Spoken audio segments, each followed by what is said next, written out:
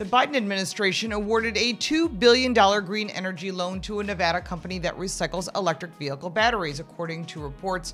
Recycling venture Redwood Materials, which was founded in 2017 by Tesla former Chief Technology Officer Jeffrey Straubel, who secured the $2 billion conditional loan from the Energy Department's Advanced Technology Vehicles Manufacturing Program, a tongue twister, according to the Associated Press. The company said it is planning to build a $3.5 billion battery materials campus in Ridgefield, Nevada, that will recycle, refine, and remanufacture cathode and anode materials, such as nickel, cobalt, lithium, and copper. The Ridgefield facility aims to begin recycling late next year and ramp up component manufacturing capacity to 100 gigawatt hours by 2025, enough to supply battery materials for more than a million electric vehicles that the company stated. The Ridgefield facility is expected to supply battery materials to Ford Motor, SK in Kentucky, Toyota Motor in North Carolina, and Volvo and Envision in South Carolina as part of their expansion. Can we really recycle every electric vehicle battery? I'll tell you right after I remind you to subscribe and click that little bell for notifications so you don't miss anything. We give you more than car reviews and first looks of new vehicles. We give you car smarts because knowledge is power. Redwood Materials claims that its battery recycling facility in California has been a success.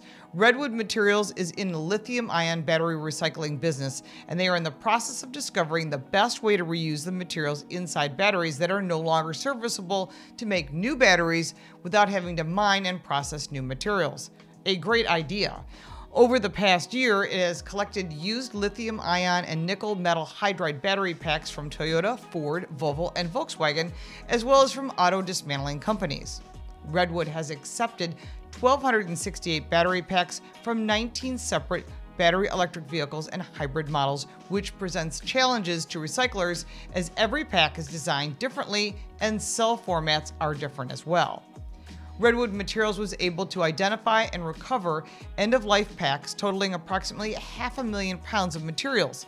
High-quality battery materials for anodes and cathodes are already being produced there and are being supplied to battery cell manufacturers in the US.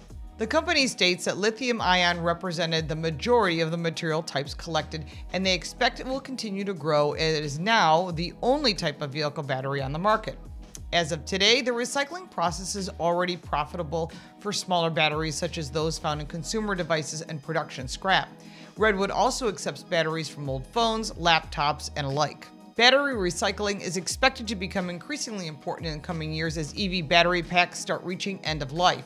The Inflation Reduction Act tied to the EV tax credit to battery source requirements, which stipulates that critical minerals must be extracted and processed and recycled in the US or in a country the US has free trade with, which would be Mexico or Canada, makes this growing area for investors. The person who gets this resolved will be the next trillionaire for sure.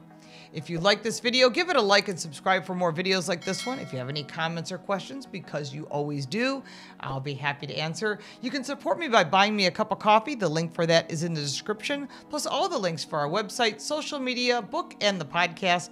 I'm Lauren Fix. Thank you so much for watching.